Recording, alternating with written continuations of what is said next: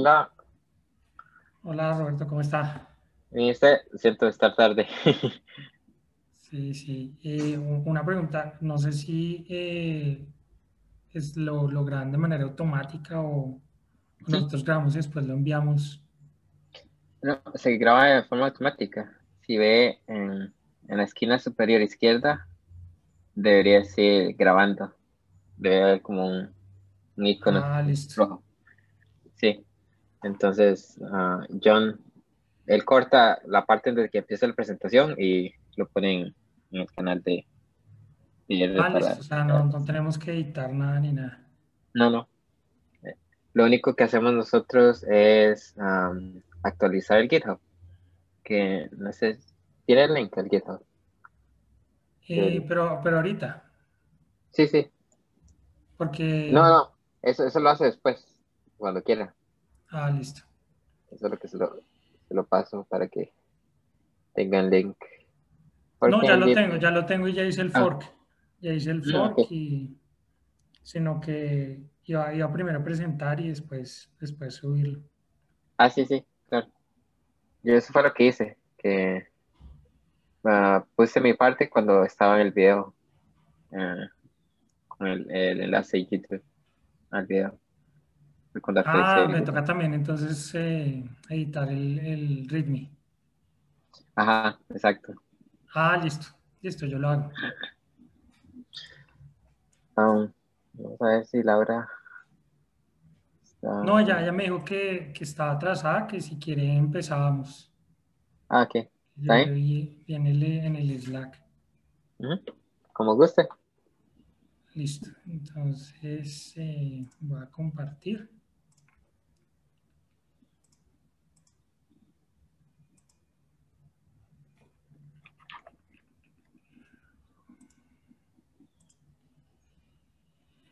Entonces la, la idea específica de esta parte es eh, cubrir lo que quedaba del capítulo número, número 5. Ujú. eh, en donde se trataba el tema de transformación de datos. Disculpen acá.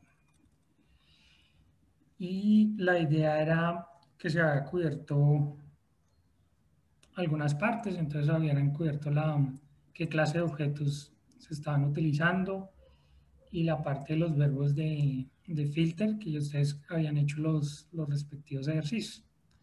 Entonces la idea es, eh, en este capítulo en general, lo que se hace es, primero se describe cuál es el objeto que se utiliza, que es un activo, los principales verbos, en donde dentro del paquete de, de Diplir hay más, pero estos son los, los principales. Y hay otro verbo principal que es para, para agrupaciones. Y luego un operador para encadenar cada uno de los, de los, de los verbos. La idea es, esta parte de filter ya la habían cubierto. Entonces lo que voy a hacer es cubrir la parte de ordenamiento de filas y los demás verbos en particular. En esta parte de ordenamiento, la forma como yo lo entendí es a través de, de un gráfico en donde se tiene un elemento que es la, la table y lo que uno quiere es eh, aplicarle un verbo para que se puedan reordenar las, las filas.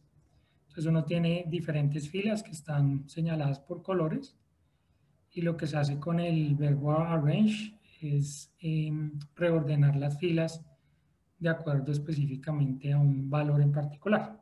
Entonces la plantilla en general es casi toda las, la ventaja del, de las funciones del es que, es que empiezan con los datos y luego eh, uno aplica variables o funciones aplicadas a variables para poder filtrar cada una de las respectivas eh, filas. Entonces, eh, un, una ventaja en particular es que el orden en que se seleccionan las variables va a importar, en donde la variable adicional a la derecha es la que se va a utilizar para desempatar. Entonces uno va a reordenar y si necesita reordenar nuevamente hay empates, eh, la, la, la, variable que sigue es la que va a permitir eh, de realizar el desempate y, y reordenar nuevamente y por defecto el ordenamiento se hace de forma ascendente. es decir, la variable por la cual se va a ordenar va a tener, un, va a tener que tener algún valor, eh, alguna forma de ordenarla, y se empieza con el, con el menor valor y así sucesivamente. Pero esto se puede cambiar con la opción, eh, la función desc, que también viene del paquete de y ahorita les indico cómo, cómo se hace. Hay otra parte que es importante tener en cuenta, es que los valores NA o, los, los, valores que son faltantes o los valores que no son numéricos, siempre se van a ordenar al final, incluso si se utiliza eh, el orden descendente. Y la otra es que por defecto se ignora cualquier agrupamiento. Entonces el arrange lo que hace es ordenar sin importar la, la agrupación. Entonces acá un ejemplo raro que sería si uno tuviera valores NA, infinito, valores no numéricos, y uno quisiera ordenar por la variable X, entonces si lo quiere hacer de forma descendente, aplica la, la función descendente, y de esa manera, por ejemplo, infinito aparece de primeras, y dentro de infinito, eh, después organizo nuevamente por la, por la variable y. Y siempre los valores faltantes o NA siempre van a estar a lo último de la, de la, de la Entonces, no sé si quiera ver los, los ejercicios o... Ah, si, si quieren, sí, porque siempre lo que hacemos es como para discutir. Ah, ah si algo interesante, es interesante. Entonces, ya un momento. Entonces, los ejercicios de esta parte.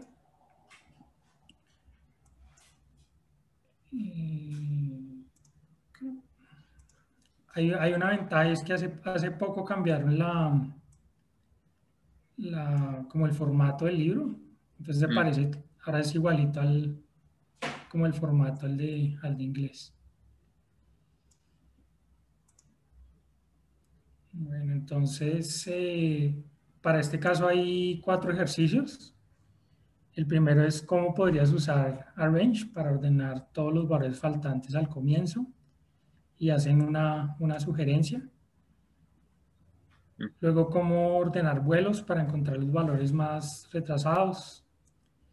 Y nuevamente ordenar los vuelos para encontrar los más rápidos y cuáles vuelos viajaron más lejos y cuáles viajaron más, más cerca. Mm. a mí lo que se me ocurre acá es esta parte de los ejercicios.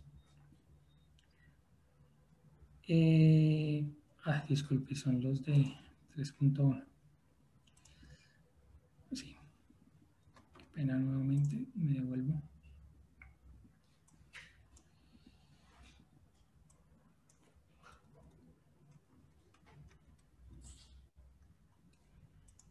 Entonces la primera parte es cómo se podría utilizar este verbo para ordenar los valores faltantes al comienzo.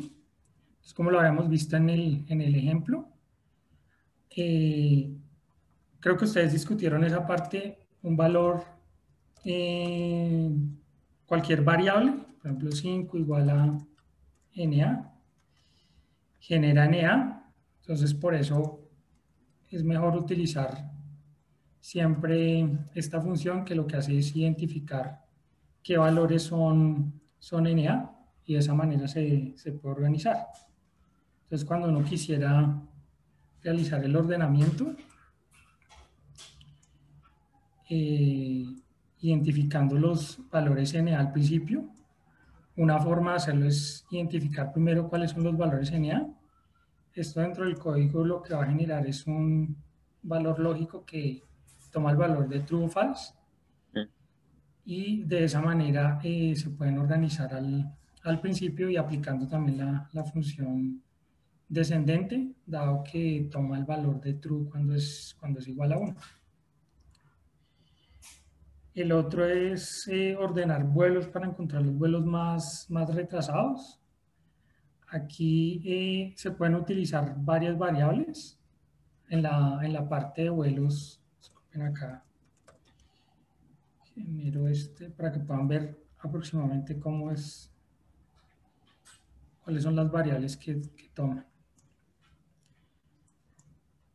Entonces, en, en, este hay, hay, diferentes variables que uno, que uno podría utilizar. Hay eh, atraso llegada o atraso salida para ver cuáles son los vuelos más, más atrasados. Entonces, yo utilicé atraso de salida y de esa manera lo que hace es, ah, disculpen acá, es organizar los vuelos y cada uno de los vuelos en base al, atraso que tuvo al, salir el, vuelo del, aeropuerto. Mm. La otra es ordenar vuelos para encontrar los vuelos más, más rápidos. Entonces, ah, también hay otra variable que es el, tiempo de vuelo. Y eh, si uno revisa la ayuda del, set de datos que tiene.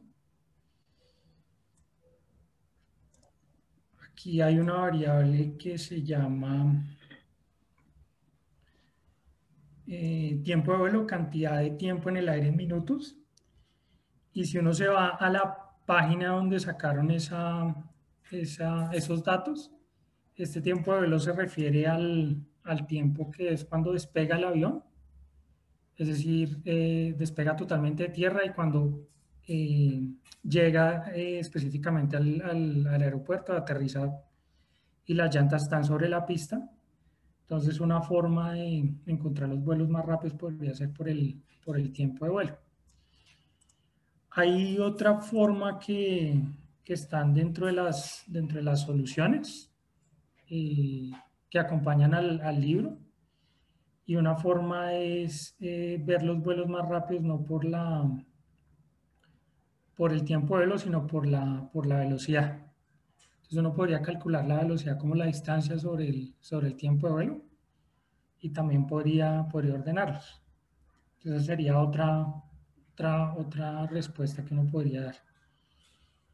¿Y cuáles vuelos? ¿Cómo? Sí, le voy a decir, porque quizás el primero de usando tiempo de vuelo considera de que vuelos más cortos a ciudades más, más cercanas son más rápidos, pero en realidad es porque el vuelo, el tiempo entre el eh, despegue y aterrizaje fue más corto porque es un vuelo de corta duración. Pero creo que me gusta más el de distancia entre el tiempo de vuelo, porque ese calcula cuándo fue la velocidad en que voló, sin, sin tomar en cuenta qué tan largo uh, fue que la distancia. No sé si tiene más sentido. Pero esa es mi interpretación de, del ejercicio, que es qué tan rápido el avión llegó de A a B. Sí, exactamente. Por eso podría utilizar tiempo de vuelo. Mm. Pero también proponen esta, yo vi las soluciones y proponen, proponen esta también. Entonces la, la puse como para tener otra, otra opción. Y, ah, bueno, acá sí la distancia sí tocaría cambiarla porque todo está en millas y en minutos, entonces si uno quisiera, como no lo utiliza acá en Latinoamérica, sí toca con cambiarlo a kilómetros y a, y horas para que quede en una distancia que uno puede interpretar rápido. Y la otra parte es cuáles vuelos viajaron más lejos. Entonces, eh, uno los puede ordenar como quiera, del, menor, del mayor al menor o del menor al mayor, y para eso utiliza la, la distancia, que es la distancia entre aeropuertos. Claro que sí es importante que uno tenga en cuenta que el, un avión no va en línea recta, sino primero tiene que subir, alcanzar una altura, después eh, va, a una distancia específica y después tiene que bajar. Entonces esta es la distancia, pero entre aeropuertos, no la que recorre un avión, porque así es más difícil de, de medir. Pero es una, una buena aproximación. Entonces serían como la, las primeras y la otra es, eh, dentro de las soluciones también encontré que otra opción que proponían era eh, más rápido más lejos significa que, gasta más tiempo, entonces también eh, estaba dentro de la parte de las soluciones sugeridas, que se podía utilizar el tiempo de vuelo, pero la que yo obtuve primero fue, fue la distancia. Listo, entonces em, está la otra parte del otro verbo que es seleccionar las columnas. Seleccionar, y lo que hace este verbo en particular es que lo que ayuda es a seleccionar las columnas de, interés. Entonces, como yo lo entiendo, es uno tiene unos datos rectangulares y uno quiere, por ejemplo, en este caso, quiere seleccionar la, la columna roja, entonces aplica el verbo select. Entonces la idea es, también tiene, lo, bueno es que tienen, las, tienen eh, la, misma, las mismas, la misma estructura los verbos, primero los datos y después las variables o expresiones y sin comillas que, que uno quiera seleccionar. Y esta parte sin comillas es importante porque, por ejemplo, si uno viene de otros lenguajes, a uno siempre le toca ponerlo como un string. Aquí la ventaja de, del tag diverse es que ahorra código y solo hay que poner el nombre sin, sin comillas. Y hay em, unas ayudas, unos operadores que le permiten a uno seleccionar, porque, por ejemplo, puede que uno tenga una base de datos, no sé, 50 columnas. Entonces, para buscar los nombres es, es bastante difícil, entonces hay unas funciones auxiliares y unos operadores eh, lógicos. Y uno puede encontrar más detalles si, si ingresa al, al, paquete que está detrás del, de cómo funciona este verbo, que se llama tidy select.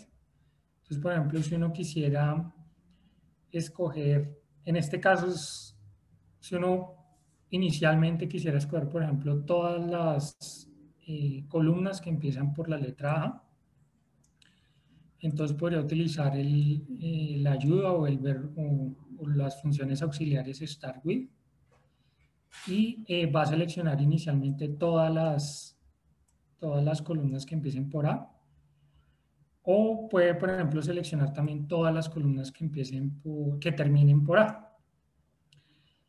Y eh, este operador de acá lo que le hace, lo que le permite es negarla o, o buscar el complemento. Entonces, Inicialmente escogeríamos todas las columnas que empiezan por A o todas las columnas que terminan en A. Eh, pero si quisiera escoger el complemento, es decir, todas las columnas que no empiezan por A o todas las columnas y todas las columnas que no terminan en A, uno podría utilizar este, este operador. Entonces, por ejemplo, en este caso, este sería el, el código y el resultado y ninguna columna acá empieza por A o termina, termina por A. Entonces es bastante útil si uno quiere seleccionar una gran cantidad de, de, columnas. Y los ejercicios, eh, acá, este acá.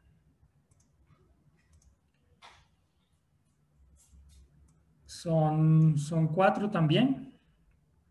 Entonces, la, primera es hacer una lluvia de ideas de cómo escoger de diferentes maneras posibles el horario de salida, atraso de salida, horario de llegada y el atraso de llegada. Luego, ¿qué sucede si incluyes en el nombre de una variable varias veces? Entonces, de pronto no se equivoca y pone varias veces la columna que quiere seleccionar. Eh, también hay una columna acá eh, que hace la función one-off. Eh, y ahorita ya hablo de este, de este ejercicio que diferente a lo que se muestra en la, en la versión en inglés.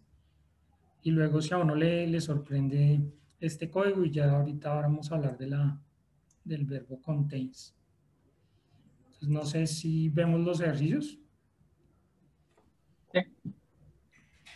Listo, entonces eh, la lluvia de ideas es cómo escoger em, cada una de estas columnas de diferentes maneras. Entonces, eh, aquí se me ocurrieron eh, diferentes formas.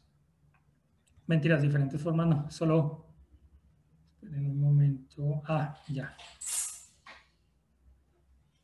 Eh, aquí, aquí propuse dos para utilizar los, los verbos posibles. Entonces, como queremos escoger horario de salida, atraso de salida, horario de llegada y atraso de llegada, eh, una forma que uno podría hacerlo es eh, nombre por nombre. Y eso está, está bien cuando uno está, cuando uno está aprendiendo. Es lo primero que se le, que se le podría ocurrir. Y es escoger cada uno de los, de los nombres. Eh, esta sería como la, la, la forma tradicional. Y uno tendría aquí los, la forma de seleccionar.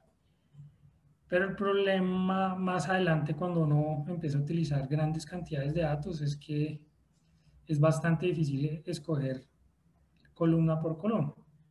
otra forma alternativa sería eh, escoger todas las columnas que empiecen por horario y esto, esta coma es como si fuera equivalente y todas aquellas que empiecen por, por atrás. Este sería, uno obtendría el mismo resultado pero lo obtendría con, con, menor código y adicionalmente podría escalarlo con, con una base de datos mucho más grande.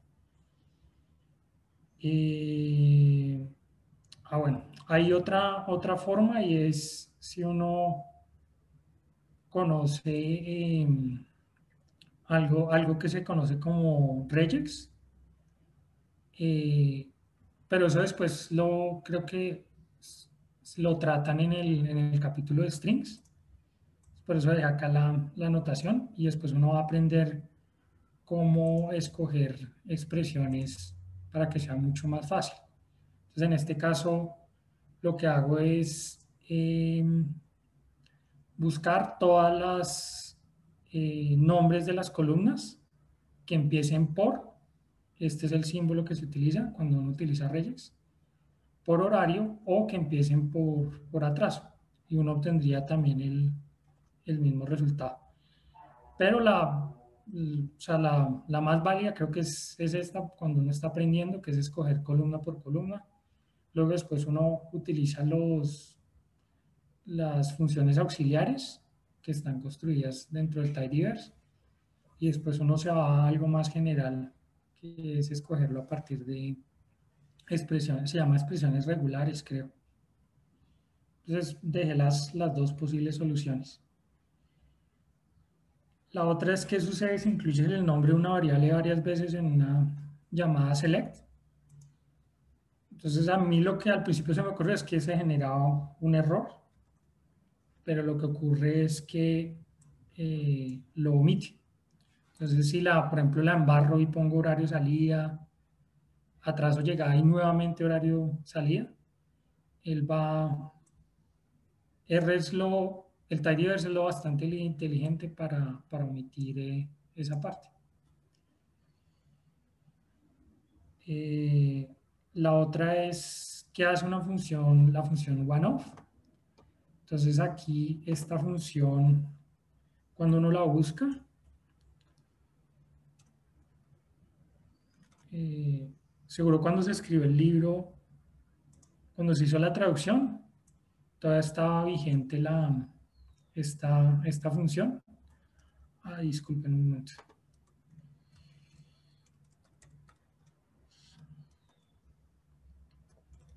One off.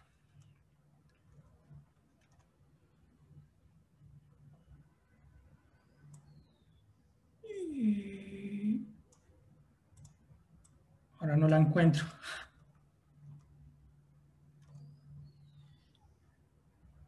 Ah, creo que está ID select. Sí, disculpe.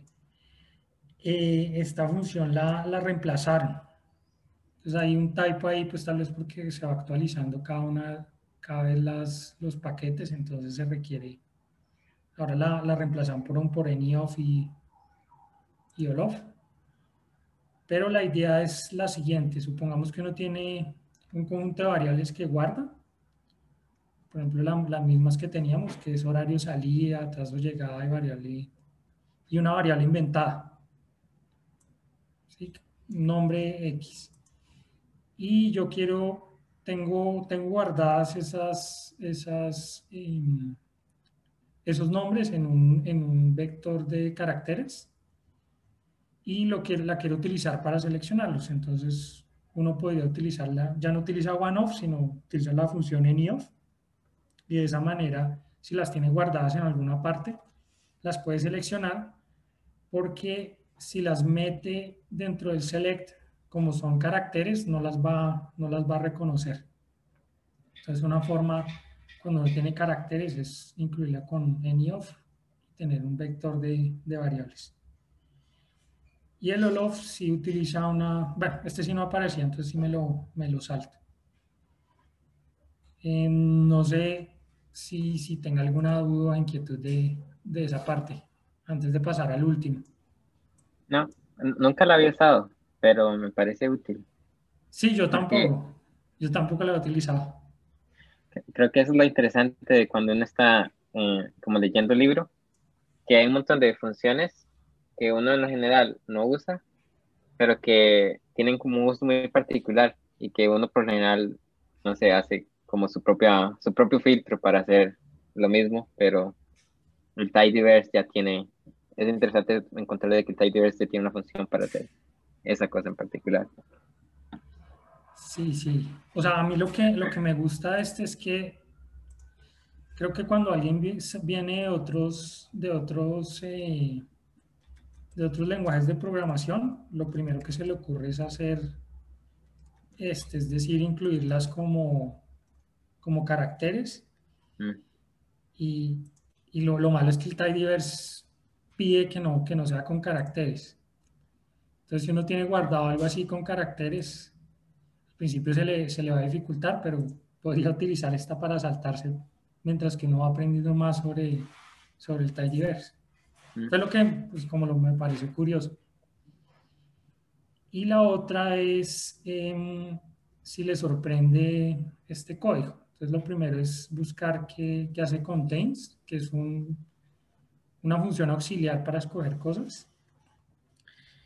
Y el contains lo que hace es buscar, por ejemplo, si uno quiere eh, encontrar una, un, eh, una columna que tenga algo que yo quiero. Entonces, en este caso, quiero buscar todas las columnas que tengan salida dentro, de la, dentro del nombre de las columnas.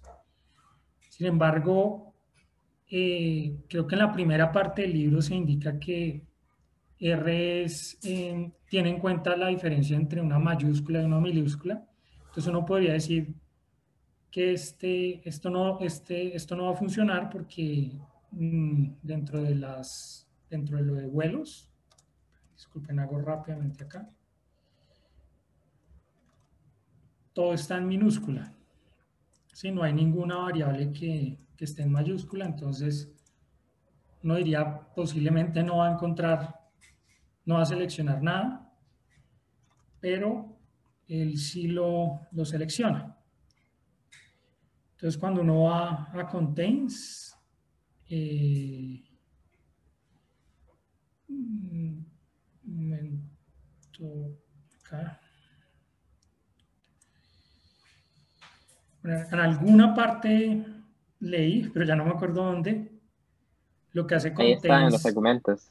En el argumento hay uno que dice ignore case. Ah, sí, este, exactamente. Entonces elimina, e, ignora si es minúscula o mayúscula, entonces eso le, le ayuda.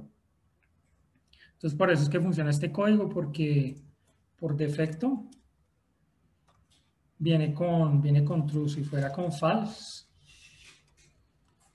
ya se me ha olvidado. Ahí sí ya va a generar un, un nativo el nulo. Entonces, porque por defecto viene incluida la, la opción. Me parece bastante inteligente porque alguien que, que empiece usualmente no, no tiene en cuenta, eh, eh, ah, acá lo tenía no tiene en cuenta esta, esta parte, entonces es una buena forma de diseñar, haber diseñado la función, haberle puesto por defecto este ignore case igual a true, que es más fácil de, de manejar. Listo, entonces el, el otro verbo es... Em, mutate, que sirve para generar variables. Entonces la forma como yo lo entendí es, uno tiene una, datos rectangulares y quiere, quiere generar variables ya sea a partir de las columnas que ya tiene o a partir de, de algo nuevo. Entonces lo que hace es transformar este rectangular y generar una, una nueva columna. Y tiene la, la misma plantilla que en donde primero empieza con los datos y después esta parte sí es diferente porque genera un par ordenado. Uno debe generar el nombre de la variable que quiere y el, y el valor o la expresión que le quiere, le quiere dar. Entonces, en este caso, eh, hay cosas que uno debe tener en cuenta. Todas las variables creadas se, se, crean al final de la última columna. Y si uno quiere cambiar este comportamiento, hace poco sacaron una, una nueva versión de, de, esta parte que es experimental. Y uno en, en esta, en, actualmente si uno baja el, paquete actualizado, eh, con estos argumentos uno podría decidir dónde quiere poner la, la, la, la columna creada. Eh, la otra es que se debe tener en cuenta que variables creadas con el mismo nombre la, la van a reemplazar. Y ahorita vemos un, un ejemplo de cómo ocurre y se pueden utilizar variables creadas en la creación de nuevas variables, es decir, variables que yo ya creé, voy a poder utilizarlas dentro del mismo código para volver a utilizarlas. Entonces, un ejemplo es, por ejemplo, si uno tiene los vuelos, a mí se me dificultó entender, se dificulta entenderlo en millas, entonces, para pasarlo a kilómetros, uno podría generar la distancia y convertirla a kilómetros. Entonces, ya existe una variable distancia pero yo puedo utilizar esa misma variable y lo que va a hacer es reemplazarla. Y de esa manera va a reemplazar, reemplazar una ya existente. Y lo mismo con el caso de vuelo, el tiempo de vuelo está en minutos, entonces es mejor pasarlo a horas. Para tener una idea, después vamos a calcular la velocidad. Y el tiempo de vuelo ya existe, entonces lo que hace es reemplazar esa nueva variable internamente y muestra la nueva variable, eh, pero no genera otra, otra variable si utiliza el mismo, el mismo nombre. Y distancia y tiempo de vuelo en kilómetros y en horas ya se había creado. Entonces lo que yo hago es, eh, puedo utilizar esas variables ya creadas internamente para generar una nueva variable. Entonces, en este caso calculé la velocidad con respecto al suelo, entonces la distancia sobre el tiempo de vuelo y quedarían en kilómetros por hora esta es la ventaja que, que tiene el tidyverse, que yo puedo ir generando variables y a pesar de que las acabo de generar, las puedo seguir, las puedo utilizar dentro del mismo, del mismo código. En esta no sé si, si encontró algo así, algo como raro que, o chévere dentro del tidyverse que, que quiera señalar aparte de, lo, de esto. La que me interesa aquí fue el transmutate que modifica y solo guarda las variables nuevas. Por ejemplo, si uno dice ah, mutate, va, a guardar todo. Digamos, si yo asigno esto a una variable, guarda todo, todo lo que existía. Pero algunas veces uno, y lo que hacía yo antes era filtraba, mutaba y seleccionaba para obtener todo lo que quería. Eso es lo que, está haciendo acá. Sí, sí. Pero con transmutate que es transmutar, eh, que lo que hace es que transmuta el set original a lo que usted, a las nuevas variables que está creando. Por ejemplo, si usted dice aquí transmutate, entonces solo sería distancia, tiempo de vuelo y velocidad del suelo.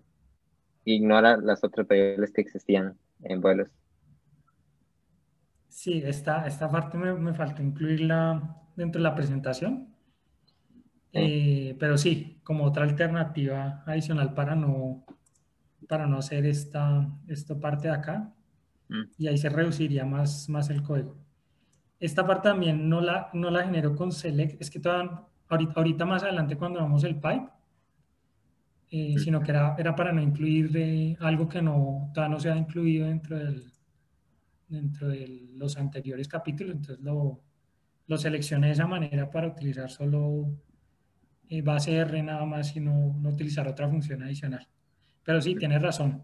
Me falta acá incluir, me faltó hacer como esa, esa, esa, esa, esa explicación de que hay otra, otra función que le permite solo tener en cuenta las variables creadas. Entonces, de esta parte,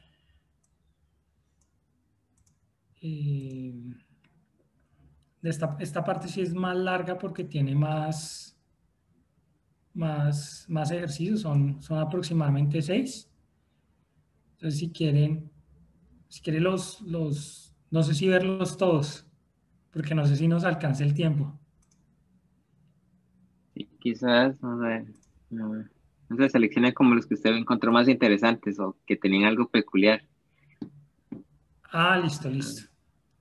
Sí. Entonces, ah, listo. Pues voy a coger los, los últimos. En un momento.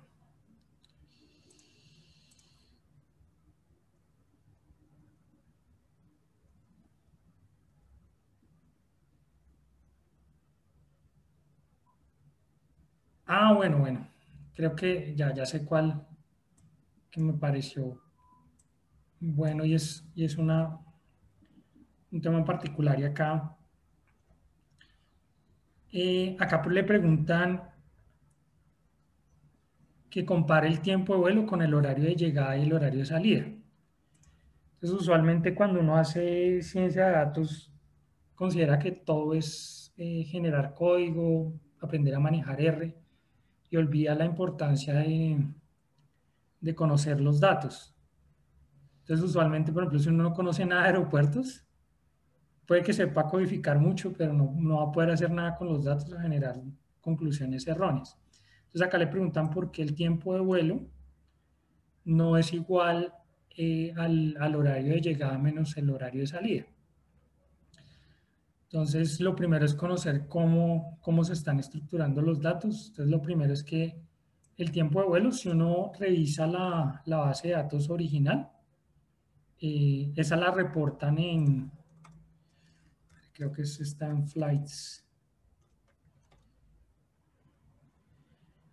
Aquí en la ayuda, si uno se va a la ayuda en el del inglés, uno puede ir a la, a la base original donde sacaron los datos y ver la descripción de cada, de cada variable. Entonces, en este caso, cuando uno ve la descripción de cada variable, el tiempo de vuelo es, se mide como apenas despega la llanta del, del avión de la pista y, y, apenas toca la llanta el, el, avión de la pista, eso mide el, mide el tiempo de vuelo.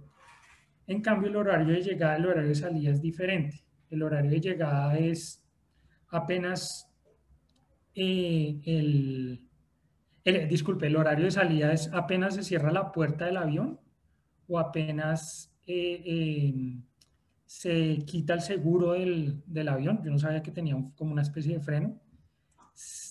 Se activa inmediatamente el, el horario, empieza a correr el, tiempo el tiempo para, para calcular el, el horario de salida. Y el horario de llegada es apenas el avión abre la puerta para descargar los pasajeros cuando ya llega al aeropuerto o cuando eh, pone, pone, los frenos el, el piloto. Eso no, no, sabía porque no, no se explica ni dentro del, ni dentro del OR en español que cómo, cómo funciona esa parte. Entonces el tiempo de vuelo nunca va a ser igual al horario de salida menos el horario de, el horario de llegada menos el horario de salida porque el avión pues usualmente se mueve por todas las pistas, eh, antes de despegar ahí se generan instrucciones adicionales. Entonces, por eso nunca va a ser igual y no se necesitaría ningún código para, para, para, para contestar. Y la otra es eh, algo que es bastante difícil cuando uno maneja datos, es cuando tiene, cuando tiene diferentes zonas horarias. Entonces, el horario de llegada está en la hora local y el horario de salida está en la hora local. Entonces aquí lo que hice es como para ver esta parte. Esta, esta parte sí creo que es muy difícil. Esta pregunta creo que es muy difícil que alguien la conteste con, si solo sabe algo, si no sabe nada de R y quiere aprender solo el tidyverse. No sé por qué esa pregunta está ahí. Entonces, por ejemplo, en este caso, eh, un vuelo, entonces todos los horarios de, de salida están desde los aeropuertos de Nueva York. Y si uno le suma a ese vuelo los 227 minutos, disculpen acá, jalo esta parte de acá, sería un vuelo que sale a las 5 y 17 el primero de enero eh, y llega a otro aeropuerto que es a Chicago, pero llega el horario local que es a las 8 y 30, pero de Chicago. Entonces, lo que hay que hacer es, uno tiene la zona horaria de, de Nueva York, le agrega los 227 minutos, que fue el tiempo de vuelo,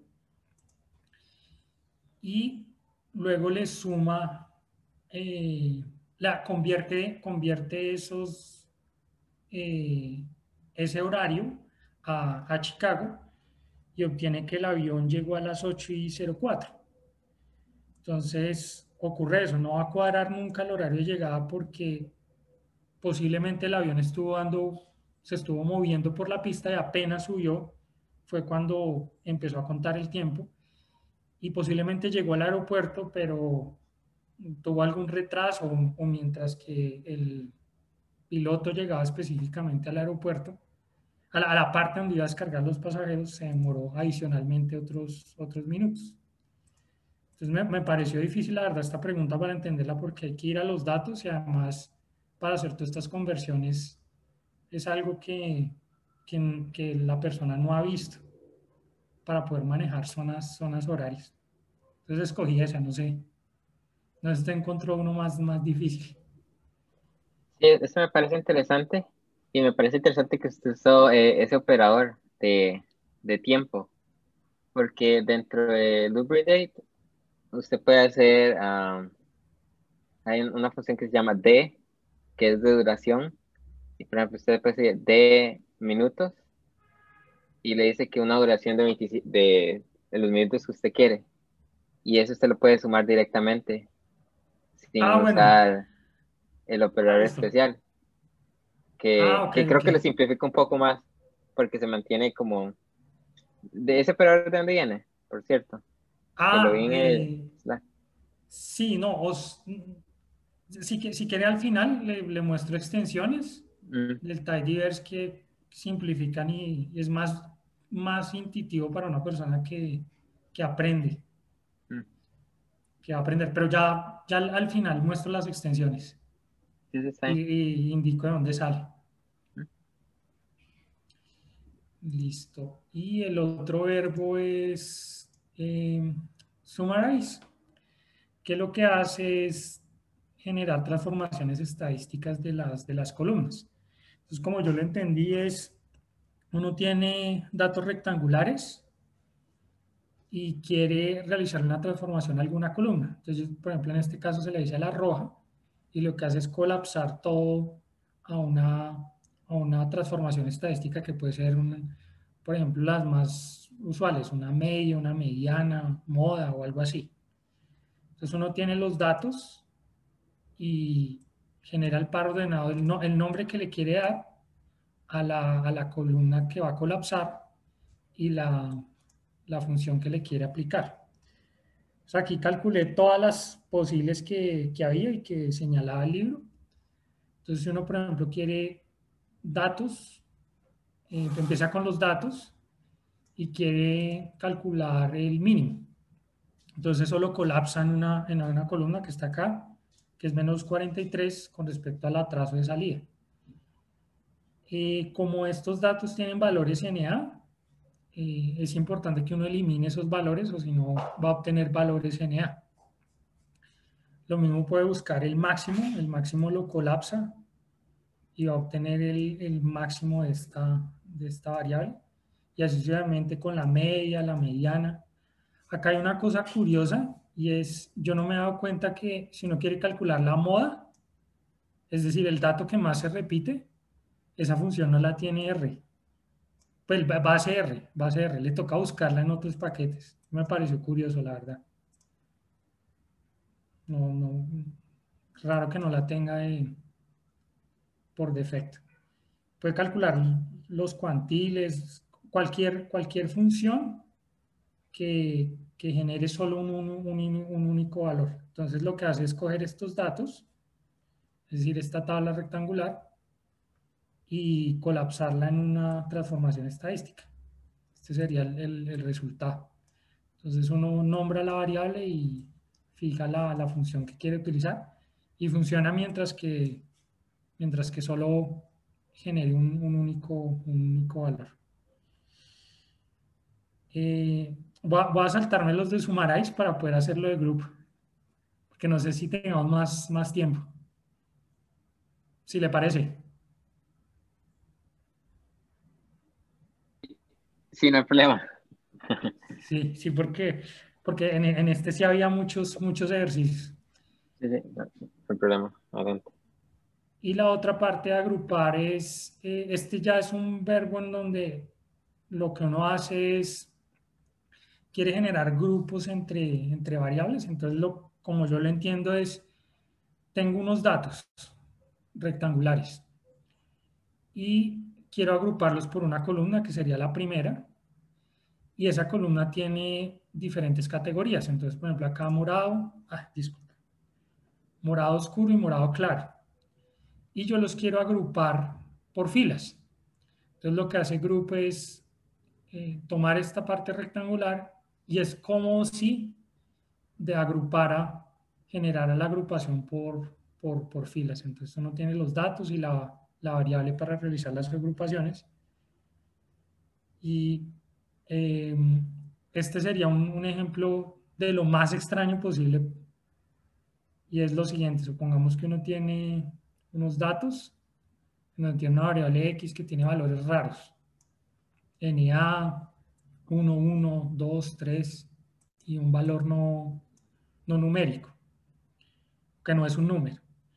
Y uno quiere agruparlas, entonces acá hay cinco grupos, eh, X tiene el valor de 1, pero también tiene el, valor de 2 y tiene el valor de 3. Entonces, disculpen, acá el primer grupo es todos los valores de 1 van a estar agrupados, todos los valores de 2 van a estar agrupados, llevamos dos grupos, valores de 3 serían tres grupos, valores NA sería otro grupo y valores no numéricos sería otro grupo.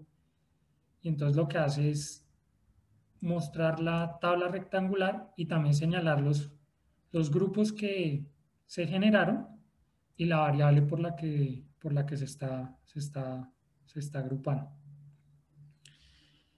Y finalmente lo que termina el capítulo es eh, mostrando el, operador pipe, que lo que hace es, le permite unir todo, encadenar cada uno de los verbos. Entonces lo que hace este pipe es por ejemplo, si uno tiene una función, eh, una forma equivalente de encadenar cada una de estas funciones es, si yo quiero evaluar esta función en A, una forma es utilizar este, este pipe para encadenar cada uno de los pasos que yo hago. Esta es la que utiliza el tidyverse en su mayoría, porque es, lo que hace es evaluar el primer valor en el primer, en el primer argumento. Entonces, cuando uno tiene esto, uno no entiende exactamente qué está utilizando. Entonces cuando utiliza el pipe, la ventaja es que lo puede ver por, acá, logrando un poco más, verlo por pasos. Entonces así uno entiende más cuando codifica. Porque acá lo que le dice es, en cambio de mostrarle esto que es difícil de leer, lo que le dice es, primero lo que yo hago es evaluar este valor en esta función y luego la evalúo. El segundo paso es evaluarla en la función h y luego lo evalúo en la función g y luego lo evalúo en la función f. Entonces eso le permite a uno entender exactamente qué está, qué está haciendo. Y en el código, eh, uno lo, lo puede entender de mejor manera de la siguiente manera. Primero tomo mis datos, luego quiero eliminar todos los datos que no tengan valores NA de la variable de atraso de salida. Luego después quiero agruparlos por el mes en el que sale el vuelo. Y luego quiero eh, hacer eh, un, calcular la media por cada mes y la mediana y el número de vuelos por mes. Entonces de esa manera uno entiende mucho mejor cada uno de los pasos y no eh, evaluarlo dentro, dentro de la misma función, sino hacerlo paso, paso, paso a paso. Y bueno, no, no sé si tenga otro, otro, otro comentario que quiera compartir antes de como de finalizar con las extensiones. Sí, creo que en el pipe, uh, cuando uno, por ejemplo, si tiene una función que toma A y B, parámetros A y B, si usted dice, por ejemplo, quiero pasar B, pasárselo a la función y darle A, ajá, pero ese, por ejemplo, ese en la segundo, en el segundo punto, ajá, creo que el y igual a punto no es necesario porque creo que lo implícitamente asume de que los ah, argumentos faltantes que no están nombrados le pase lo que está recibiendo del pipe. Y eso podremos probarlo. O podría probarlo. Pero creo que eso funcionaría. Digamos, en este puedes remover y igual a punto y funcionaría igual. Ah, no, sí, sí. Es que esto es como para más pedagógico, ah, para decirle que si usted lo quiere evaluar, eh, no, no, necesariamente en el primer argumento puede utilizar un punto. Sí, sí. Sino, sino que al, principio cuando se está, se está, se está aprendiendo, eh, me gustó que lo hicieron de manera también que todas las funciones, disculpe acá, empiezan con data. Mm. Entonces, uno no se va a enredar al principio con ese tema de dónde lo va a evaluar. O sea, lo puse ahí como para que, porque lo nombraba el libro. Pero es algo ah. que uno utiliza, pero ya después de que lo va a necesitar. Pero diseñaron también el paquete y es, no aprenda eso, no se preocupe, utilice el pipe, no importa, no, no sabe cómo funciona pero lo bueno es que como siempre lo, los datos siempre los va a tener al principio, entonces no se va a tener que preocupar por todo por eso. Y ya después cuando vayan a necesitar cosas complicadas, después sepa que donde lo quiere evaluar, ponga un punto.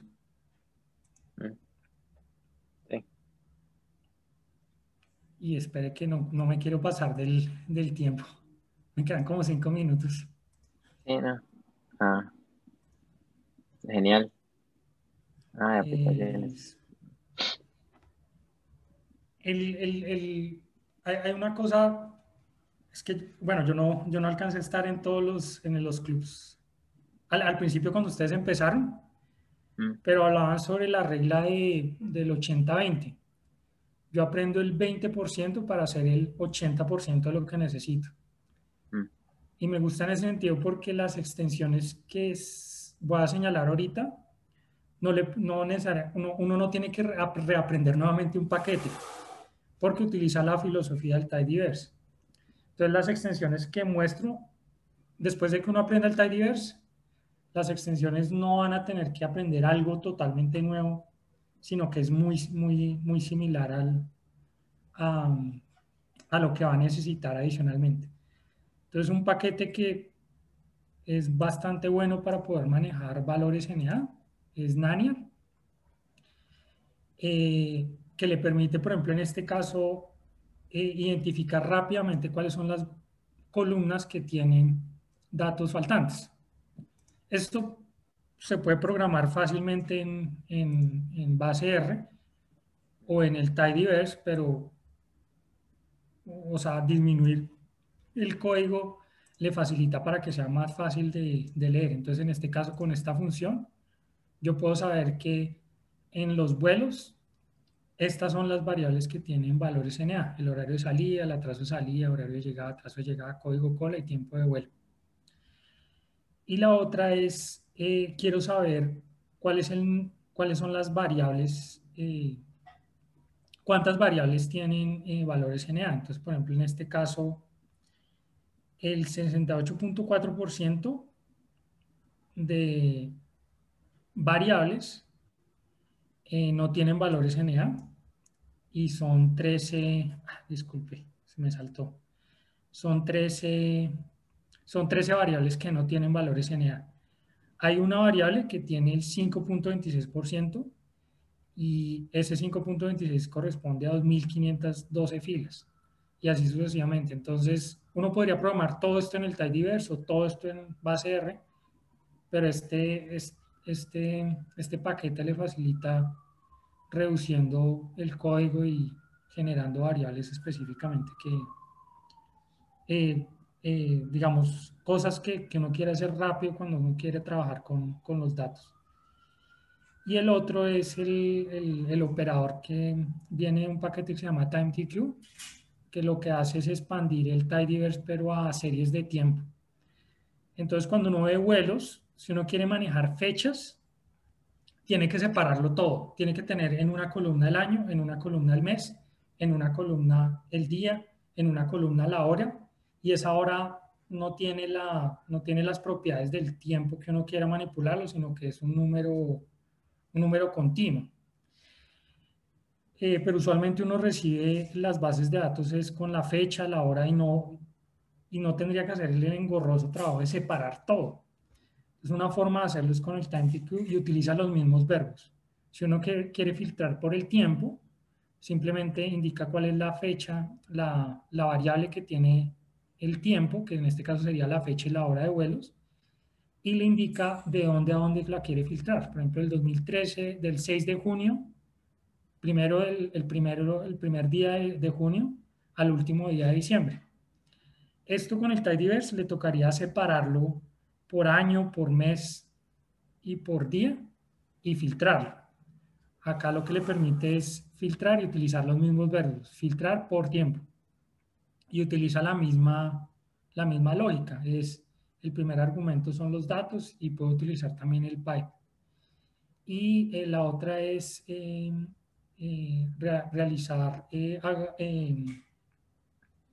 estadísticas agrupadas con summaries por ejemplo, si uno quisiera eh, calcular el mínimo, el máximo, la media y la, y la, y la mediana eh, por mes, le tocaría, con el tidyverse le tocaría separarla como lo hicieron en vuelos, cada uno de estos elementos. Aquí lo que hace es, yo lo quiero, eh, quiero calcular estas, estas específicamente estas, estas eh, medidas por cada mes. Entonces lo obtengo más fácil y, y obtengo cada una de las específicamente lo, lo, que quiero calcular y no necesito separarlo, porque es, usualmente lo que uno recibe es eh, este tipo de columnas en donde tiene el año y la, la hora, pero volver a separar cada uno de los elementos por año, por mes y por día es bastante engorroso hacerlo cada vez. Entonces esto le permite a uno hacer el tidyverse, pero con series de tiempo. No me alcanzaron más tiempo para otros ejercicios. no, no. Qué interesante ese, porque no, no sabía de, de, este, de estas extensiones. Bueno, este paquete. Porque sí, yo lo hubiera hecho con filtrando cada, cada componente. O creando primero otra columna. Digamos, hacer mutate y unir uh, el año, el mes, el día y luego filtrar con Lubricate o algo. Sí, el, pro el, problema es que uno cuando tiene, por ejemplo, con series de tiempo, uno le, le llega los datos así. Y, por ejemplo, hay, hay veces quieren también por hora. Entonces mm. le tocaría separar por año, por día, por mes, por día, hora, minutos y segundos. Mm. Entonces se le, se le aumenta el código y se le aumenta el código y se complica y uno, y uno termina haciendo perdiendo es tiempo. Entonces, encontré, a, a, mí me gusta este paquete es por eso, sí. porque extiende y, a, y, además utiliza una table. Si uno va a manejar series de tiempo, los objetos en los que se agrupa manejan otro tipo de objetos que no son una. Entonces es un complique filtrar, eh, hacer todo lo que uno ha aprendido con el tidyverse y le toca reaprender nuevamente todo otra vez. Entonces me gustó eso de la regla del 80-20. Aprendo 20% del tidyverse para hacer el 80% de todo lo que yo necesito. Sí, genial. Gracias por, por la presentación y los ejercicios también. No, es que no alcancé, le pido disculpas porque no alcancé, no alcancé ah, no. a hacer todos. Y me, me no pasé como tres minutos. No, no, no, ese no es problema. Uh, yo, yo, estaba en clubs que nos quedamos hablando como por media hora más después. Ah, ok, no. ok. Sí, no, no, no, no, no, es, no es tan restrictivo. El problema es, digamos, si usted tiene otro compromiso, que digamos que a las 6 de la tarde suyo tiene que algo, una reunión o algo más. Entonces creo que ese sería el problema. Pero según no hay una regla en el club que diga no se pueden pasar de, de la hora. Entonces, tranquilo en ese sentido. Ah, bueno, bueno, bueno. Ok, ok. Sí, sí. Ah, pero sí, creo que la otra semana presento yo. A ver, ¿Cuál es el capítulo? No me acuerdo cuál es. Eh, ¿le, le puedo hacer Ah. una, una, una pregunta? Es- en, el, en, el, en, el, en el repositorio del GitHub, eh, o sea, ¿cómo, ¿cómo van a organizar las carpetas para, para, para que no me vayan a rechazar el pull request? Sí, ah, vamos a ver. Creo que puedo compartir mi pantalla. Ah, ok, ok. No es tan complicado. ah. No, no, es para seguir el mismo orden y no, no generar. Sí, sí, entiendo. Ah, por ejemplo, bueno, yo fui el que empecé a, a, a cambiar las carpetas porque todo estaba en inglés. Entonces, lo que hice es que hay una carpeta de presentaciones. Entonces, si va ahí, lo tenemos por semana. Entonces, sí, cuál sería es la semana. semana que- 5. Semana 5 es esta. Ah, pero entonces Ah. faltan, faltan muchas cosas, ¿no? Sí, porque es Ah, ok, de. Laura. Laura tiene que actualizar ah, semana 1 y semana 4 que ella hizo. Entonces yo hice semanas 2 y 3. Usted hizo semana 5, entonces pone semana 5, cohorte 1 y ahí solo pone ah, hizo Sharingan, me imagino, o algo así, o Markdown. Ahí pone el Sí. Markdown y el HTML. Y yo adicionalmente puse ejercicios, que yo lo que hice fue usar ah, Learner. No sé si lo ha usado. Que le No, permite lo- a uno de- hacer sí, código lo, lo interactivo. utili- Lo está utilizando, sino que, sino que, sino que es por el tiempo. Ah, Porque no. estos eran una gran cantidad. Ah, bueno, hay, hay un ejercicio, creo que me quedó, me, me quedó faltando uno, que no lo pude hacer, Ajá, ¿cuál? que no, no, no, no me quedó, o sea, no estoy seguro qué se refería. Lo, lo voy a mandar por el Slack. Está bien. Porque, no, no, y, y la, y la otra es que los comparé, comparé varias veces con las soluciones y- y- y hay muchos que están sujetos a interpretaciones. Sí, Eh, y sobre todo, por ejemplo, estos datos, porque estos datos son de vuelos, pero no tienen un ID, por ejemplo. Tiene, tiene ese problema. O sea, yo pensé que vuelos, la variable, hay una variable que se llama vuelo, pero ese vuelo está repetido, está repetido en varias columnas, en varias filas. Entonces no es el ID y tampoco está el, el avión, tampoco se puede coger porque un avión puede, puede volar varias veces. O sea, me, me gustó, me gustó ese porque son, realmente son los datos que uno encuentra en la realidad. No son datos limpios, sino, sino son bien complicados para manejar.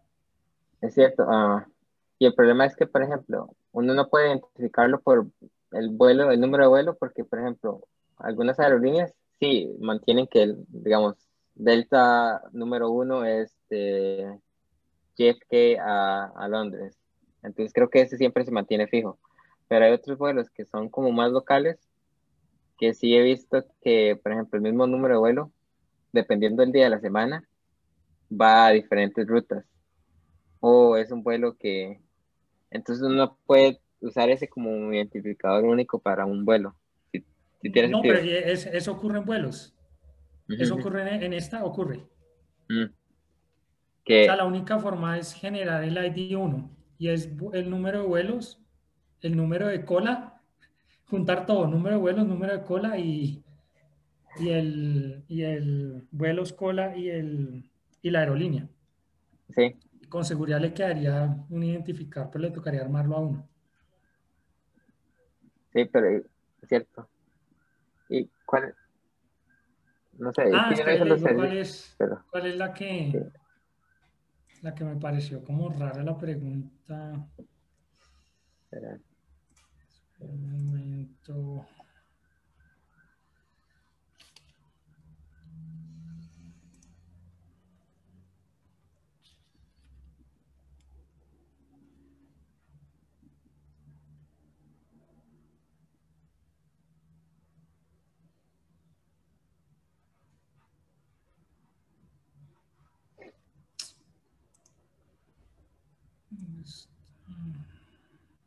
No, ya no me acuerdo del ejercicio. No, no me, no me quedó muy claro. Sí, no, ahí, ahí me lo O pueden sea, le- mandar. le- el Slack. una respuesta, pero No estaba satisfecho.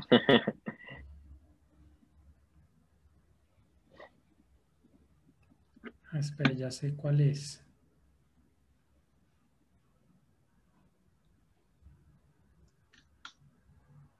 Una que dice algo como desafío, pero es que no me acuerdo dónde está. Yo lo busco entre el libro. Desafío. Ah, ¿qué compañías tienen los peores retrasos? Puedes descender el efecto de malos aeropuertos versus el efecto de malas aerolíneas.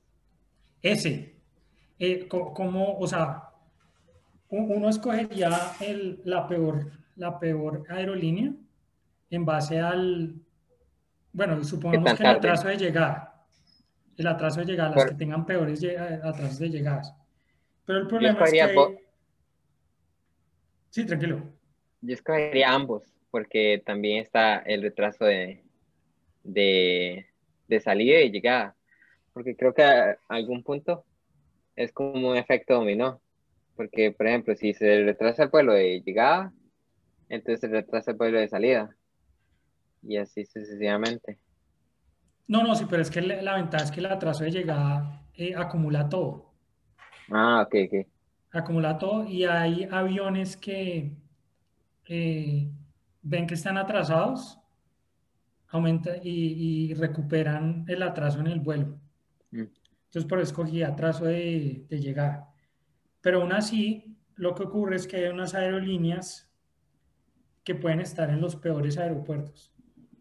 O sea, hay aerolíneas que pueden estar en aeropuertos que funcionan muy bien pero funcionan muy bien en el sentido de que o prestan un mal servicio o, por ejemplo, están en un lugar en donde no se generan lluvias, ni huracanes, ni niebla, ni nada.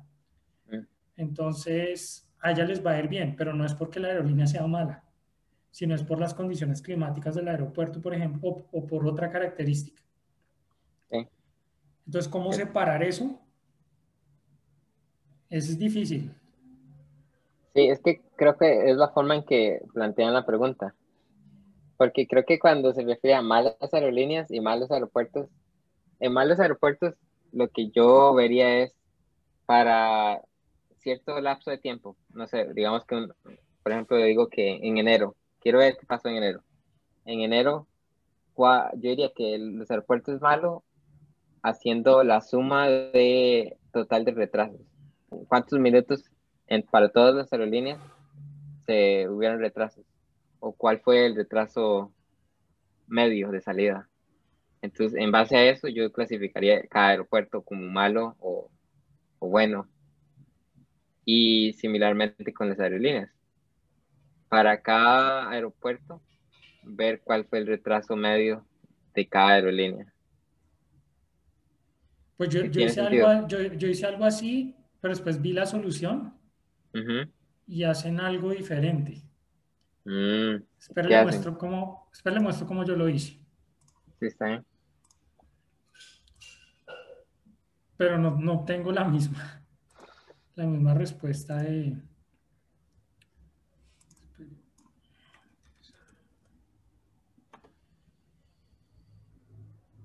Eh, esperen acá.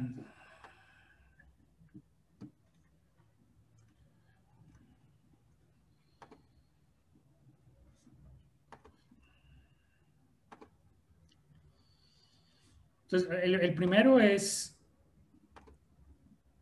es simplemente eh, qué compañía tiene los peores retrasos. Uno no hace nada.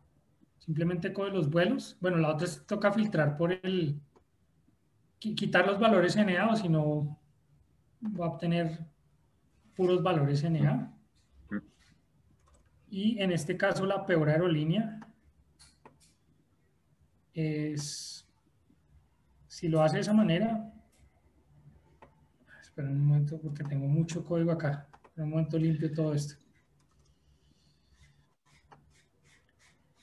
La peor aerolínea es una que se llama F, F9, tiene un código F9. No, no me acuerdo porque... Creo que es. ¿Cómo? Allegiant, creo que se llama. No, no me acuerdo. Eh, listo. Pero entonces puede ocurrir que esa aerolínea esté en las peores condiciones de aeropuertos. O mm. puede que una aerolínea esté en las mejores, sea mala, preste un mal servicio, eh, pero esté en un aeropuerto que brinda las mejores condiciones. Ahora, ¿cómo quitarlo? Entonces lo que hice fue lo siguiente. Primero, agrupé por aerolínea, destino y origen. Porque, porque el origen tiene tres aeropuertos. O sea, si uno lo hace por destino, tiene ese problema. Porque uno diría, no, pues empecemos por destino. Pero el problema es que en el origen hay tres aeropuertos diferentes. O sea, yo no conozco cómo son los aeropuertos de Nueva York y si mantienen una homogeneidad. Entonces hay que agruparlo por aerolínea, destino y origen. Y luego sumo el, el, atraso de llegada y el número de vuelos que salen por aerolínea, destino y origen. me quedaría algo así.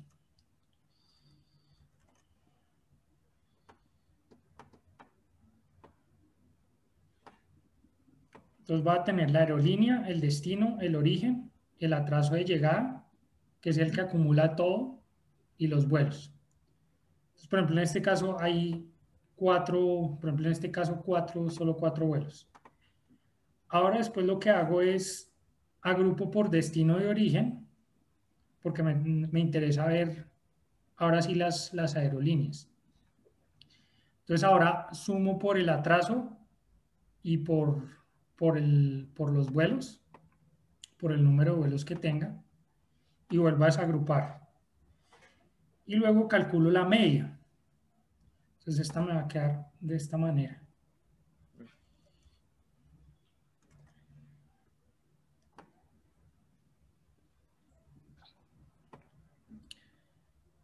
Entonces esta va a quedar la media total, pero lo tengo por aerolínea, por destino y por origen. Y tengo la media de cada aerolínea. Entonces, esta es la media que coge de todos los aeropuertos. Es decir, por ejemplo, en este, el destino Atlanta y el origen, esto sí no sé qué será. New Jersey. Eh, ah, ok, ok, New Jersey. Eh, tiene una media de 13.2 minutos, pero esta aerolínea en ese aeropuerto tiene una media de, incluso se adelanta, ¿sí? Entonces lo que yo haría es comparar esa diferencia. ¿Sí? O sea, por ejemplo, a esta le va bien. Le va bien porque, porque la diferencia,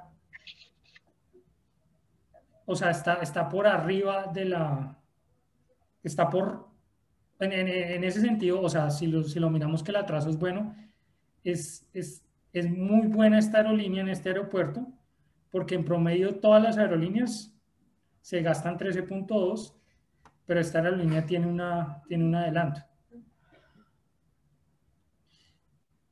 Pero creo que acá la embarré, yo no había tenido en cuenta esto y es que hay valores negativos y la diferencia me da negativa. Ahí me di cuenta que ya lo tengo mal. Porque si hago la diferencia me genera una diferencia mucho más grande. Ah, no, no, sí está bien, qué pena, sí está bien, sí está bien. Es media menos la media Sí, sí, sí, sí está bien, sí está bien. Entonces yo voy a rankearlos es por la diferencia, qué tan lejos están de todos los aeropuertos. Mm. Pero en la solución hacen algo más. Y es que calculan la media de la aerolínea y calculan la media total quitando a la aerolínea. Mm. La media total sin la aerolínea, entonces. Sin esta aerolínea. No, ni idea, toca calcularla. Porque acuérdese que acá hay varios destinos. O sea, no, es, la resta ni nada del este. Sí, sí. No, yo no, yo no entendí, no entendí la verdad, no entendí. No, no, entendí muy bien. Ahora que, lo, ahora que lo pienso, tampoco es ese cuero, porque no sé, tendría que ver. O sea, yo voy a intentar hacerlo. Y si, si lo entiendo mucho mejor, si tengo alguna mejor idea, le, le digo. Ah, listo. Porque me parece que es eso, es como la forma en que uno interpreta la pregunta. No, no, pero no es de interpretación, es toca buscar, es, es como si al jefe, si el, si el jefe le dijera a usted cómo, cómo organizar las aerolíneas. Y después traté de buscar un, un eh, encontré un artículo de cómo, cómo lo hacían. Por acá. Pero, pero no tienen el código. O sea, o sea este es un problema que tienen. Es un problema real. Ya está solucionado, pero es un problema real y es cómo, cómo clasificar las aerolíneas cuando uno tiene diferentes destinos y diferentes aeropuertos. Mm y es un problema recurrente que tiene que tienen los aeropuertos, o sea, los aeropuertos y también uno como, como usuario. Si, si agrupa todo dentro de un país. Sí. ¿Cómo rankear las, las aerolíneas en promedio? Porque, porque si lo hace de esa manera, mire lo que pasa. Espera un momento, hago el, ranqueo. Si lo, si lo hago de mi forma, pues, pues puede que hayan otras, otras formas de hacerlo. Ya, por ejemplo, FA pasa al segundo puesto y aparece 0-0 como la peor. Y, y, coge esto, aunque sea mala FA, puede que también los problemas sean en el aeropuerto, además de que es mala. Sí. Mm. Sí, es, que, también y, hay, muchos factores. Y hay otra cosa, eh, utilizar la media, hay muchos datos atípicos. O sea, me faltó también verificarla con la mediana, por ejemplo. Sí. Porque hay muchísimos datos atípicos que hacen que la media suba muchísimo. O sea, hay, vuelos que se retrasan demasiado. Entonces uno diría, no, eso le va re mal, pero realmente no es un dato típico la, la media. Bueno, ahí hay cosas como que uno le puede arreglar. Sí, es que también hay factores, por ejemplo, que a qué, a qué uh, aeropuertos vuela cada aerolínea. Porque tal vez sea una aerolínea que es como mucho más local, pero puede ser que otra aerolínea tenga muchos vuelos de larga distancia, que estén sujetos a, a, una, a un mayor rango de condiciones meteorológicas, por ejemplo, que un vuelo de costa a costa, por ejemplo, en los Estados Unidos que si el vuelo se retrasó y que hubo una gran tormenta en la costa este, pero en la costa oeste no pasó nada. Entonces, los, los, la aerolínea que solo trabaja en la costa este se verían mucho más afectadas por alguna, algún, ¿cómo se llama? Pero que algo, pasó. Sí, sí, sí, algo pasó. Y es como, está afectando a esa aerolínea mucho más la impacta más que a una que sea, uh, tenga escalas mucho más, mucho mayor, mayor operación. Ah, bueno, bueno, una, una, pregunta. Yo no, en este yo no, yo no vi cómo se veían las escalas. No sé, si, si, si toman ese el vuelo, es que si hizo ya la escala, eso se toma como un vuelo. Eso no lo sé. Yo supongo, supondría que en esta base de datos es así. O sea, no importa que el vuelo sea, tenga varias escalas, pero supongo que lo que ellos hicieron es apenas hizo escala, eso es un vuelo adicional. Sí, yo, imagino que así debería de ser. No, no estoy seguro. Tendría que leer como los detalles de los datos. Si es que dicen algo de eso. O sea, esa base de datos está buena. A mí me, me, gustó harto por eso. Porque es como si le entregaran esos datos y uno dijera, por lo menos que, una decisión que uno podría tomar para un usuario que le pide que utilice esos datos es, dígame cómo yo decido qué aerolínea coger si estoy en tal lugar. Sí, qué ruta, por ejemplo. Sí, no, también... la, no, no, la ruta no, la ruta es más difícil. La ruta es más difícil. No, pero no, ¿qué aerolínea coger para que yo no, no pierda tiempo? Esa sería la, la primera, porque con, con, distancias es que, acuérdese que tiene ese problema, que, que, toma la distancia de un aeropuerto a otro, pero, pero un, un avión no vuela en línea recta. O sea, hay que como tener en cuenta como más cositas. Sí. Yo estaba, de hecho, estoy trabajando con, haciendo algo similar, pero con trenes, aquí en el Reino Unido. Tengo como, hice como un paquete que uh, obtiene datos que son de, acceso público, que es como eh, en cada estación, las llegadas, partidas, las, uh, las paradas intermedias. Y lo que una situación que pasa mucho con los trenes es que un retraso de uno, aunque sea unos, unos cuantos minutos, tiene un, un efecto dominó que, que, sigue afectando durante el día y por horas. Entonces es un problema que traten de entender bastante porque es como evitar que un tren retrasado afecte todo, tenga un efecto um, por horas, por ejemplo. ah, pero en, en, en, vuelos pasa. O sea, en vuelos hay, hay, un ejercicio que le indican a uno de buscar cuál es la hora adecuada mm. para poder escoger el vuelo y las horas adecuadas son de las 5 de la mañana a las 10 de la mañana porque si hay un retraso, retraso a las 7 se va generando lo que usted dice en los aviones. ah, bueno, y hay, hay, otra cosa rarísima en esa base de datos y es que hay, hay vuelos, hay atrasos de, de salida, pero valores NA en el atraso de llegada. No sé por qué. Mm. Creo que eso lo habíamos hablado la semana pasada y lo que nosotros supusimos ¿Ah, fue que... Sí, pero nosotros lo que supusimos desde el punto de vista de tener NA en la base de datos es de que uh, por alguna razón el instrumento que, que reporta el, el, valor, porque me imagino no, no, que... No, o sea, no, no, no. La, o sea, la razón de cuando hay NAs en ambos lados es porque el vuelo lo cancelan. Es por eso. Ah. Pero en ambos lados. En ambos lados. Tiene que ser en ambos lados. Pero. Mmm, ¿Qué pasa si el vuelo lo, lo, divierten? ¿Qué pasa si el vuelo lo, es que le dicen que es divertido? No, no divertido como en qué divertido esto, pero que lo mandan a otro aeropuerto para una emergencia. Porque el vuelo el origen y el destino serían diferentes. ¿Sí entiende mi, mi punto? Digamos que usted tiene un vuelo de A a B, pero algo pasó y el vuelo no pudo aterrizar en B y aterrizó en C.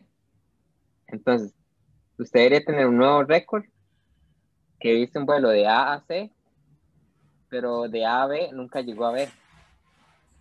¿Sí tiene sentido? No, por eso, pero, pero, sal, pero tiene, o sea, salió, salió del aeropuerto. Sí, salió, no, no pero no, no llegó pero... al, No llegó ah, o sea, al o sea usted, usted, dice que esos casos son los DNA, que, que tiene... Yo diría, esa es la única explicación, porque el, el avión salió y está reportado como que salió, pero nunca llegó al destino, que se suponía que... Porque bueno, llegó da, a otro destino. Hay otra cosa dramática, accidentes, pero eso no creo que ocurra mucho. Podría ser también. Sí. No, pero son muchos valores debería ser poquito. No, pero entonces sí tienes razón. Ah, ok, que no pudo aterrizar en el aeropuerto de, de, de destino. Sí, creo que aterrizó como un intermedio. Y creo que eso no es tan. Es, es común. Por ejemplo, en Estados Unidos, si hay una emergencia médica o que alguien no Pero se debe ser más bien. por clima acá. Acá debe ser más por clima, yo creo. Ah, O, por, Sí. o no. O porque sí, está muy lleno el aeropuerto y definitivamente no pueden. Está llena Sí. las pistas para moverse de un lado para el otro, ¿ok? sí, es que, es que también son muchas cosas. Es que es tan, comple- que es tan complejo. Pero, por ejemplo, yo sé que en Costa Rica hay dos aeropuertos grandes. Y por lo general, si hay mal clima en el principal, entonces los vuelos los mandan al secundario. Y si el secundario no es una opción buena, entonces los mandan a Panamá, que es como el más cercano. Pero en este Pero Costa Rica, este- una, una pregunta, ¿Costa Rica es chiquito o es grande? sí, sí, es pequeño. Ah, es por eso, es por eso. Sí, sí, sí, sí. Pero Mm. en los Estados Unidos ah, hay demasiados aeropuertos regionales que tienen la capacidad para un avión grande aterrice. Entonces, sí, mi punto es que sí es posible y sí es factible de que un vuelo por alguna razón mecánica, de clima, emergencia médica, de terrorismo, que sea que aterrice en otro lugar que no es el destino. Bueno, y, y el otro caso que encontré es, no tiene bueno, no, no tiene atraso salida ni atraso llegada, pero tiene tiempo de vuelo. O sea, tiene NA, usted mira, mire la base y tiene NA en atraso de salida, NA en atraso de llegada, pero tiene tiempo de vuelo. Mm. Yo sí no tengo, ese sí ni idea. Sí, es que eso está más difícil de explicar. Pero, ¿por qué no diríamos que no hubo atraso? Y en lugar de poner cero, como que no hubo atraso. No, no, pero porque NA. tiene NA, ¿no? tan rarísimo. Ese también, otro que, mire la, si quiere, mire la base. Y, y- y no, y no son poquitos, Mm, no sé. O no sé si, no, no sé, no sé, la verdad, no sé. no, no, no, no, tengo una explicación porque Oiga, la, la- la- la de los trenes es algo que usted está haciendo una consultoría o algo así. no, no, personal, Ah, ya, ya, ya. sí. Um, Bueno, me- ¿usted me manda el link donde baja los datos de los trenes? sí, Quiero ver cómo sí. funcionan también los trenes. Ah, es muy fácil. ah, eh, le voy a pasar en Slack. Es como usted se registra y le mandan un token y la única cosa es que descargar los datos ah, necesitan, usted necesita mandar una- un, como un formulario con las opciones que usted quiere jalar. Digamos, usted dice la estación y si quiere un, un Ah, por eso es que usted está tiempo. construyendo el paquete para, para conectarse con la API. Sí, exacto. Ah, ya, ya, ya, ya. Pero ya, ya de hecho lo mandé a- al CRAN, la primera versión, y está en revisión. Entonces, usted lo puede usar. No, ni, no es que ni idea, nunca he construido un paquete, entonces me imagino que ser un proceso Eh, tan fácil. más o menos. Pero sí, ah, más bien, si está interesado, yo se lo paso y usted lo usa y usted me dice, ah, esto no funciona, o esta, esto hace falta, o esto debería modificarse. Porque entonces tengo a alguien que lo use. Usted lo tiene en, el, en, el, en su GitHub. Sí, Ah, ahí listo. se lo paso por, por el... No, no, yo lo reviso, lo descargo en el... En, ah, listo. Perfecto. Pero sí, Quiero ver qué tan Ah. diferente es un tren. sí.